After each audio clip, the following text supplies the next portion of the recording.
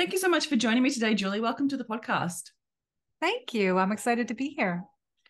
I'm excited to have this conversation with you because I feel like it's one of those conversations that often business owners dread thinking about this side of the business, but at the same time, they know they need it so badly.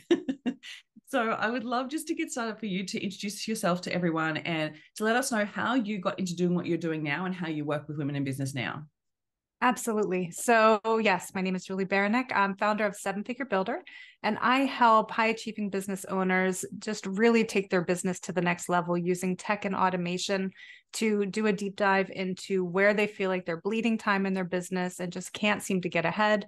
And then I help do an assessment with that and figure out where those gaps are and help plug those gaps so that they can ultimately free up their time to have more time to spend with their families. So that's truly where I my goal is is to free up their time so that they have that flexibility and that time available to do whatever they love. Amazing, amazing. So needed because I think we can be honestly spending so much time working on our business and it can, yeah, definitely take away from us actually having a life. So, yes. tell us, how did you get into this? What's when you share with us your expertise and what, what started this? Yeah, so my story takes, you know, twists and turns as everybody's does, I'm sure. Um, but I actually started as a registered nurse and was in high risk labor and delivery. And I did that for about 11 years, but I was always very creative and techy. So I started a business on the side doing that and helping business owners.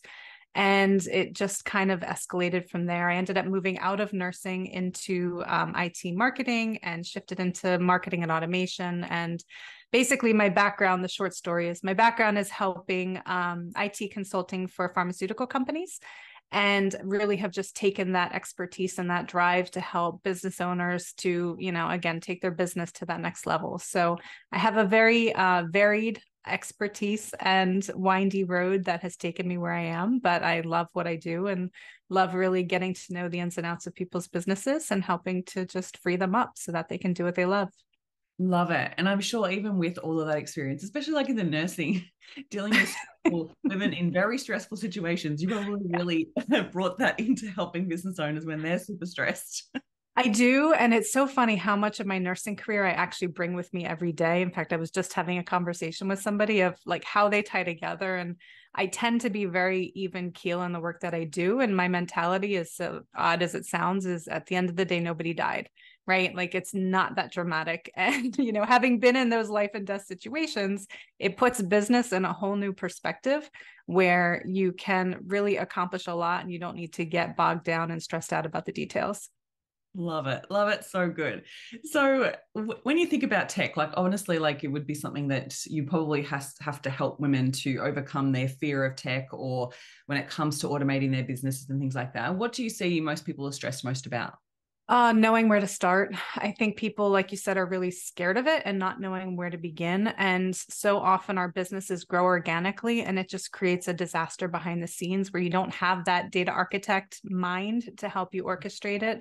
And so then people oftentimes go to try to use their data to market and it's a disaster behind the scenes. So that's where, you know, I'm able to come in and help people really sort out and untwist that mess that they might have and clean it up so that they have that clean flow of data. They know what they're collecting from people and be able to utilize it um, in a way that actually makes sense and creates that that personal high touch experience.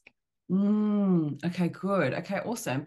So I think like when it comes down to this type of stuff, like you, you can often find that business owners are creatives or they're visionaries. And so the tech side is not something that they come mm-hmm. that comes naturally and they find it very challenging. So is like when you say where where to start, is that first place to start to actually just to start automating your time or to uh, audit your time? No, so the first place would be to ask for help because if you just start to automate things, you could speed up a mess and actually create more harm than good. So it's really important that before you start automating things that you have somebody really take a look at what you've got and make sure things are clean and make sure your data coming in is clean and that you can you have something to start with, right? You have something to use and you're not just speeding up a mess. Mm. I can imagine people listening to this going, "Oh my goodness, I was just going to try and start and do it on my own." because that's what we do in business, right? Like we're literally yeah. trying to figure it all out on, on ourselves instead of actually going, oh, hang on a minute, maybe it would be worthwhile, especially on the tech side, to be like, let's get someone else in. Because I know that I've definitely tried to do that in the past and and mess things up. yeah. I mean, even as simple like email marketing campaigns are huge and so incredibly helpful for your business. But if you do dear first name, right, as easy and simple as that sounds, and you're missing the first name field for half of your data, you're now looking very awkward to your clients as you're sending out that automated email campaign. Yeah, yeah, interesting. And so, okay, what do you what do you wish business owners knew about tech? Um, that with the right help, you can do incredible things. Um, that it's not as scary as you think, and it's not, you don't have to start from scratch, that there's so much that you already have in place that you can utilize. It just uh, sometimes it helps to get that that second perspective to say you know have you thought about this? And even if you have some sort of automation there's a thousand other things that can really help free up your time. You know even if you have one email campaign like there's so much that you can add to that to really to really free up your time that you don't have to copy and paste things from system to system you don't have to hire a va necessarily like there's so much that you can take off your plate that just really makes your life easier and you don't have to be scared of it Mm, good, good. And I think you're so right. Like I think that we get so scared of it. And I think that it's like that, like that wanting, not wanting to relinquish control. a little bit of it as well. And so let's let's play a bit of a scenario. So let's just say like there's a, an entrepreneur there that is has actually done quite well, like you said, organically built their business, and they've probably got some systems already in place. So imagining they would have like an invoicing system in place, they'd have mm-hmm. CRM in place, they'd have possibly you know scheduling apps and things like that for their socials. Once they've got those foundational kind of pieces in place, what would you then start looking at next? So yeah, if you have those systems in place, that's a really good place to start for sure. Um, I would look at your onboarding and make sure that you have a very streamlined onboarding system in place that um, it can be as simple as just a welcome email and then a couple emails just to let people know what your expectations are, what their expectations should be, and what the next steps are. And that really helps tee up that client experience to um, make sure that it's stellar from day one because their first impression is huge, right? As we all know that. So I would definitely take a look at that that client onboarding process. Um, and with that, from your lead generation, uh, you know, you can really help free up your time just by making sure that data is seamless from wherever you're collecting those leads, that that data is coming into your CRM, wherever your CRM is, um, and that you're collecting the right data because anything that somebody tells you, you can then use it for personalization farther down the road, assuming that you're collecting good data, right? Because that's the basis of what everything is based off of. Yeah. So would you say that then considering like the end in mind is really oh, worthwhile? Oh, totally. Yeah. yeah. Yeah. I'm a full believer of begin with the end in mind of what are you trying to accomplish? You know, even if it's those baby steps, but figure out which piece of it you want to accomplish. And then we can work backwards from there to say, okay, you need these things in place to get to that goal. Yeah, because I think that like when like I know that you have your show, which is the Seven Figure Builder Show, and so they're obviously thinking about that seven figure. so they're wanting to actually achieve that next level. And so, what are some of the things that entrepreneurs actually forget or don't even think about when it comes to that next level growth? I would say a sales funnel is a big one because you may have a landing page in place that you're doing a singular sale but you can tack on upsells without being obnoxious. Like we've all been in those sales funnels that you feel like you can't get out of. you don't yeah. want to be that person, but you can easily add on additional streams of revenue just by adding an upsell, adding an order bump, adding something that would bring additional value to whatever that initial purchase is. Um, so that's a huge one. Um, another one is affiliate marketing, where people oftentimes don't think about that, but you you want referrals, right? So there are very um, streamlined ways that you know i or somebody can help you add that onto your platform. It may actually be baked into your platform and you might not know about it. Um, like if you're on a kajabi platform or something like that there are ways to upgrade your account to then enable an affiliate program that's already baked in. Um, so there may be very simple ways to do that and to bring in those word of mouth referrals and just build your community very quickly um, through something as, as simple as an affiliate program Mm, yes, my goodness, you're so right. Like I think it's some of those things that those extra income streams that are already part of what we already do, right? It's systems we already use it's people that we already connect with like there's so many different ways to build out those income streams without even realizing it and i think that often we we think that if we're going to build another income stream we have to build another business or another side of the business but it's not actually the case right Right. No, you can add on products and definitely build in those income streams there, or just follow up services or add on additional levels of service. Again, just working through that funnel if that's, you know, something that makes sense for your line of business. Um, another one that comes to mind is if you have appointments in your business and you find that people aren't showing up, you know a lot of us use calendly for example for our systems that you know we use that to schedule appointments with our clients whether it's sales calls or whatever you're doing or podcast calls um, but there are very easy ways to add on automated reminders, both email and text, which are invaluable for getting people to actually show up to your appointments. So I know a lot of people struggle with that. And then you feel like you need to get that many more leads and that many people through your funnel, when in reality, people are busy and they forget.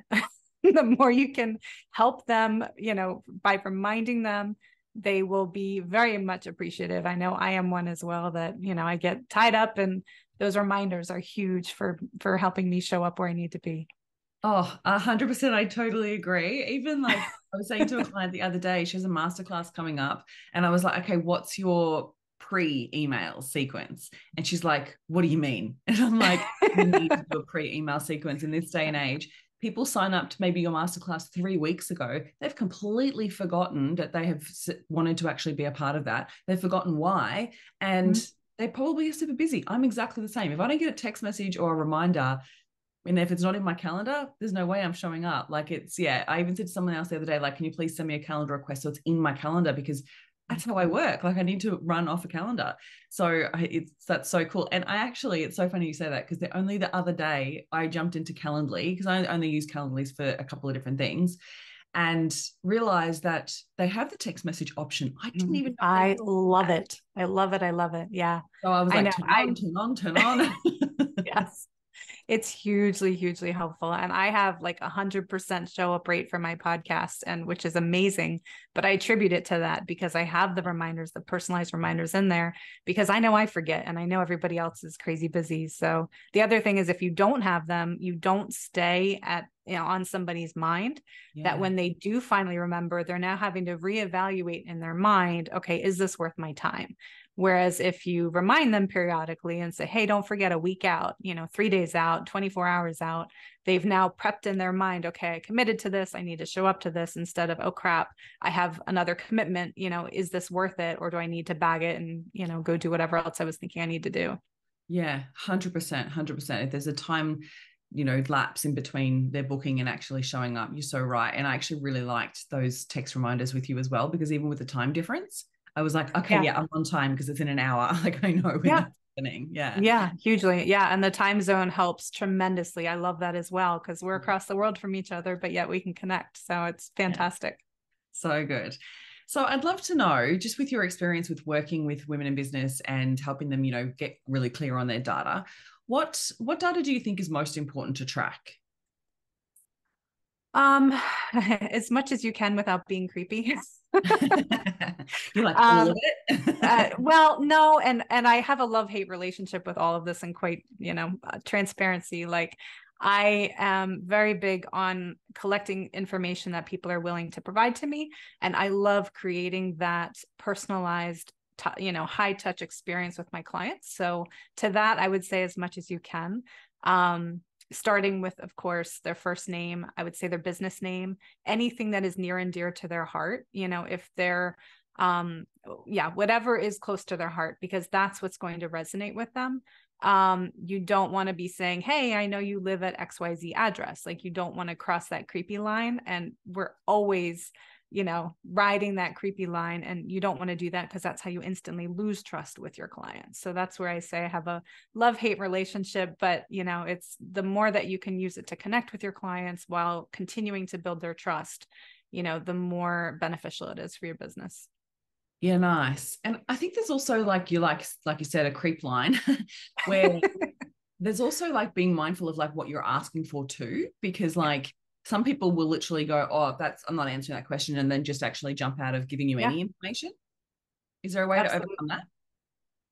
I would just think if is it truly relevant to the experience? Do I really need to have this information? And is it a trust building exercise? To your point, you know, they'll instantly bounce if you're asking for my social security number or whatever, you know, something is that's too personal.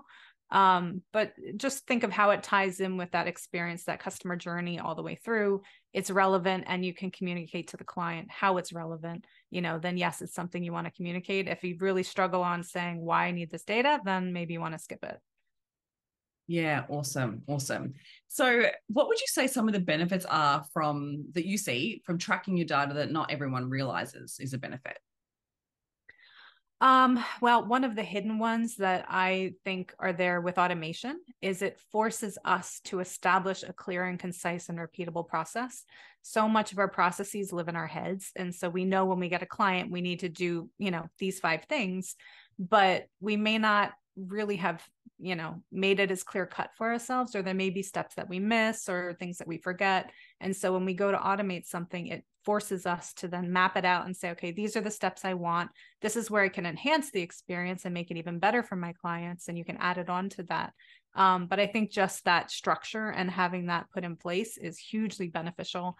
Um, and then seeing how those processes tie together and where those connection points are, where you know you may collect something over here at the beginning of the process, and then you can use it farther down the road um like i do that constantly through my journey with my clients from day one all the way through everything goes into my crm so i'm very strategic at the things that i'm talking to people about and the data that i'm asking them for and that they're providing because ultimately if it all goes into one place i have that clear picture of my client and it really helps me better understand my client and be able to serve them in a higher way. And do you see that obviously then impacting marketing results and things like that uh, yeah, absolutely. Absolutely. It makes a huge difference in the marketing results and just that relevance to the customer experience in that moment of time that you can, you know, there are different um, logic points and hooks that you can hook into in that journey if there are things that you know about a client like just as simple as like my, my whole system is automated behind the scenes for my podcast where people come in and they, you know, I ask them to fill out a form, which then gives me information about them. I then send them to a um, calendar, which you experience to then sign up, but all of it's automated behind the scenes. So I don't have to do any of it, but all of it goes into that one simple, one single location where, um, you know, people, I have all that information and I can be more, um, real time with my clients because I know everything that they've told me at that moment. So yeah, absolutely it makes a huge difference in your results. Amazing. And oh, I love me a workflow. Like one of the workflows are the best. And I think it's something that does, it really makes the experience so much better for your clients. And I think sometimes people worry about it being too robotic or too, you know, not personalized, but there are so many personalizations that you can make, right? That make all the difference. Absolutely. Absolutely. Yeah. No, and I've had clients that have told me over and over again they really enjoy the experience because they know what to expect. I've made it easy for them. And I think that's something that we forget is the the easier we can make it for our clients to work with us, the more they're going to want to work with us. Like I've worked with billion dollar companies and their mantra, their mission was to make it easier to work with them because they forget that the client you're, you're putting up barricades in front of yourself if you're not making it easy to work with you. A hundred percent. Oh my goodness. We need to like shout that from the rooftops. I think so many people make it so hard just to yeah. say yes to the next step. And I think that the hard thing is that I think that we get too stuck in like, oh, I'm sell- selling or I'm being too salesy or pushy. When actually, it's like you just need to think about what that next step is and what the headspace is when they're in that energy. So then they can easily make that next step. Like it's amazing how many businesses make it so hard to buy from them or to work with them because of all the barriers or because of all the loops they make you jump through. It's just, I see that so much.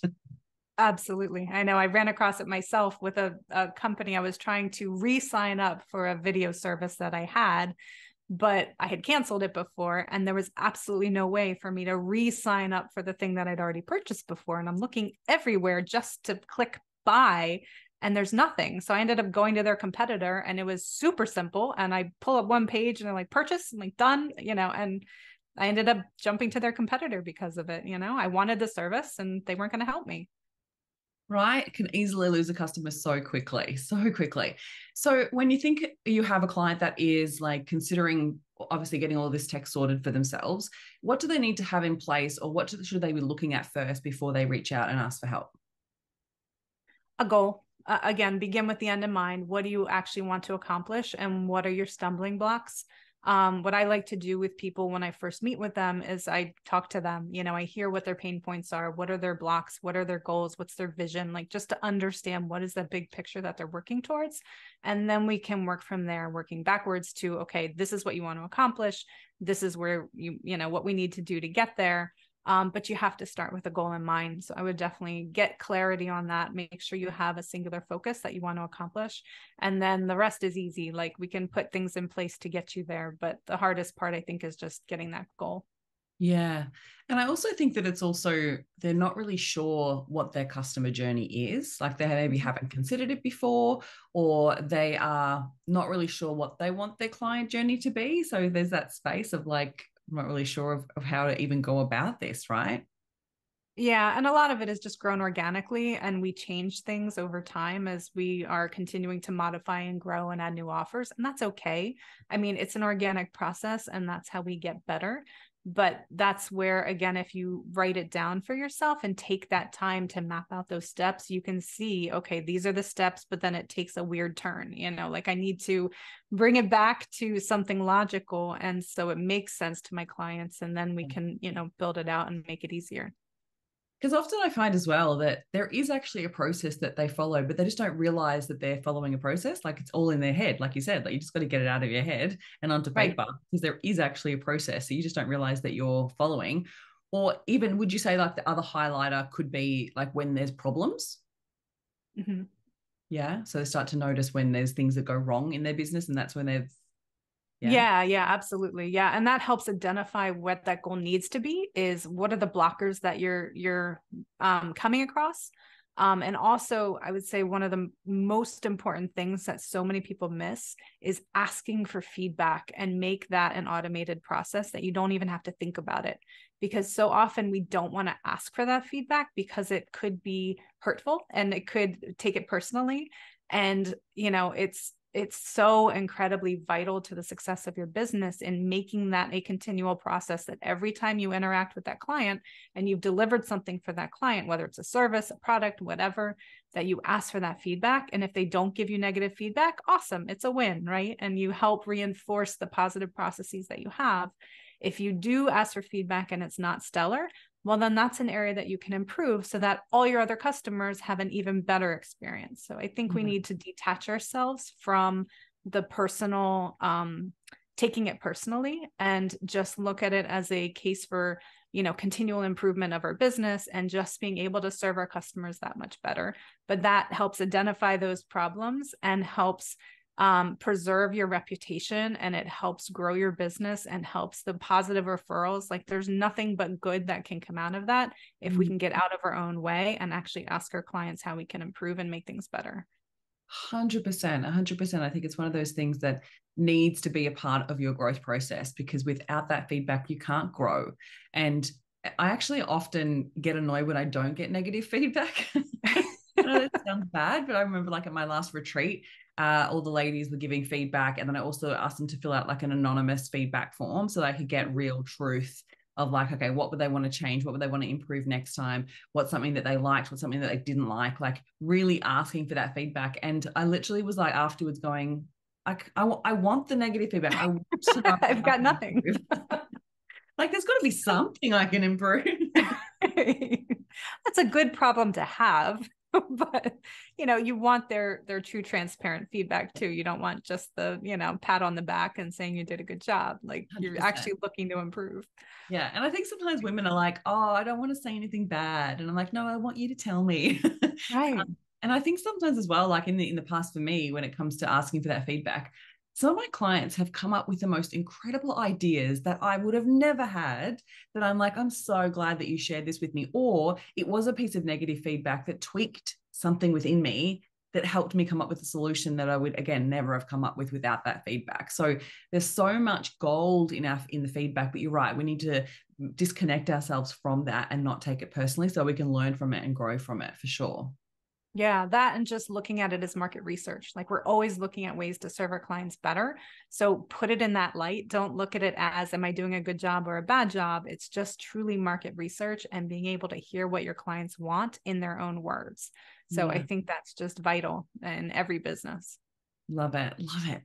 So I'd love to know when it comes to like gaining more time back, what are some simple tweaks that we could share with everyone now that they should start looking at that they could make that you notice? Like sometimes I'm sure that you work with clients and you're like, oh my God, why do you not have this in place? Or this is the most simplest things that you could do today that would make a big difference. Yeah, onboarding is a huge one. There's so many people have just a manual, completely manual onboarding process that you can streamline and just automate so much of it and still have that personal touch. So I would absolutely look at your automation um, for your onboarding process. Um, the uh, lead generation is another one. So I would definitely think about how you can streamline your lead generation process and make sure that you're not having to manually copy and paste, that your data is not getting stuck somewhere, or you're just counting your leads um, and not actually doing something with them. Um, that's a huge one that I see both from small companies to massive, massive, you know, Fortune 500 companies is they do the same darn thing that they're just looking at, oh, we have X number of people sign up. Well, okay, great. What are you doing with it?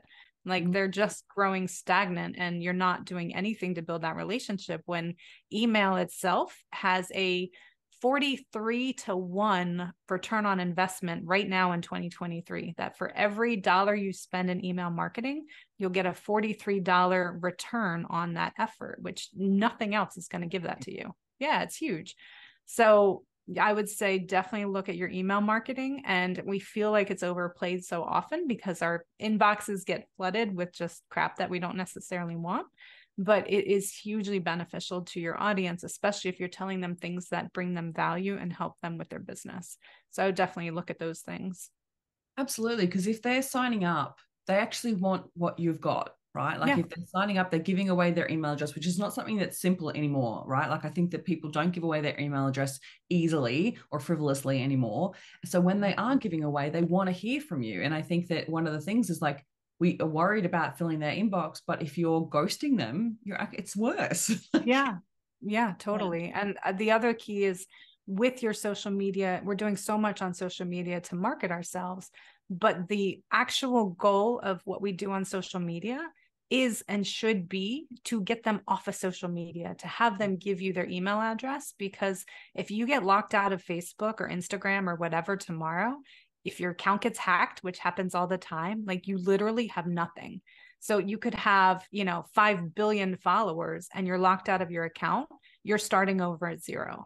Mm. So it's critical that we're actually driving people off of social media to a lead magnet to something that we can actually exchange information for their email address so that we have that as something that we can use to market and communicate to them um, and then look at those campaigns on how you're actually going to do that to build that relationship. But I think that's a huge gap in so many businesses that we spend so much energy in our social media in our social media marketing um, and don't actually take them off of social media. Or spend so much time money getting the lead and then doing nothing yeah. with it. yeah, a hundred percent, absolutely. Yeah. So I'd love to know if there's anything that you notice with the difference between, say, entrepreneurs that are, say, at that six-figure mark and they're wanting to get to that seven-figure. What are what are some things that seven-figure business owners do that six-figure business owners don't? They realize the importance of using the data that they have and scaling using automation. I think so many people just uh, look at their business based off a necessity of like, what do I have to do to survive instead of looking ahead at how am I going to scale. And time is our most valuable thing that we have. It's very finite, and we all have the same 24 hours every single day, you know, from the biggest CEO to the smallest child like we you know we all have the same amount of time. So how we choose to use it is up to us. But um, i think looking at your time strategically instead of just getting stuck in the busy work and the busyness of your business you've got to actually look at how to be strategic with that time and how to leverage the systems and being able to invest in the systems to free up your time so that you have more more of that time I love that. It's really shifting from that employee mindset to a CEO mm-hmm. mindset and actually considering like what's the outcome, what's the result we're wanting to achieve rather than just making time or just you know working nine to five and just doing mm-hmm. all the busy busy busy things it's actually much more strategic and thinking about it in a completely different way i love that absolutely so good amazing oh my goodness this has been so good is there anything that you feel like we haven't touched on just yet that you think that business owners really need to know when it comes to automating or scaling their business with tech I would say just get started. You know, think about where your pain points are and then how you can alleviate them. We don't have to spin our wheels and just keep doing the same thing over and over again because that's all we know. Um, and I know, you know, we think about it with our our branding and our um, mission and all that stuff that we bring coaches in to help us reframe that mindset and you know to be able to think bigger and I think so often we don't think that help is there without getting crazy expensive agencies to come in and help us. There's help there for you that can help you scale your business and to free up that time. And you just need that expertise to be able to help you grow and get to that next level. Um, you don't have to keep spinning your wheels anymore. Mm, absolutely. So, on that note, can you share with us how we can find you, what we can book in with you? What, what's the next step?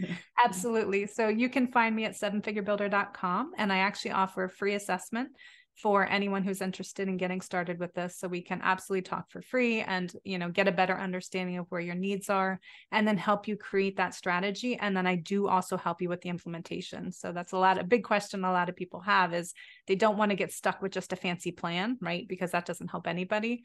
So um, yeah you can definitely hop on my website. You can find me on all the socials on facebook on instagram. I'm at seven figure builder um, easy to find there. And um, yeah, I look forward to connecting with your listeners. And like I said, you the help is there. You can definitely move farther in your business than you ever think you could. Amazing, Juli. Thank you so much for coming on the podcast and sharing with us all of your expertise. This has been such a fun chat. Thank you. Absolutely. Thanks for having me.